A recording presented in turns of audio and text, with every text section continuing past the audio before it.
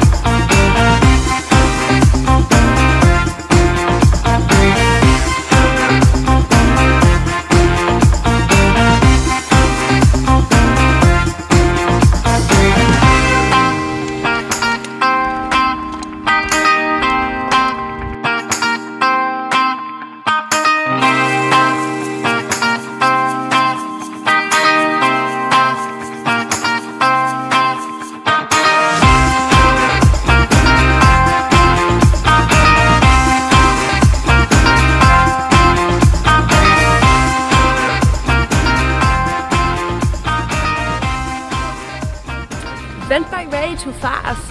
Like, it's quite sad that it's already over. It was quite a few months of preparation now five days later and we're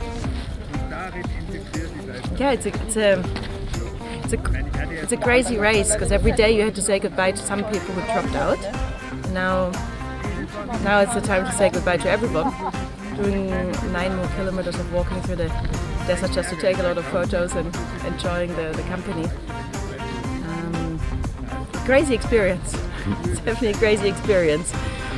Uh, five, six days.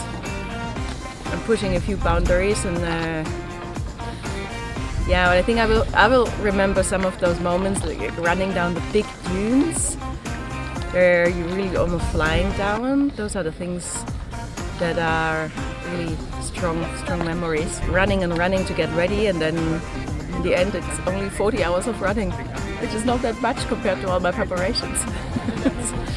yeah, but amazing experience. Really, really loved it.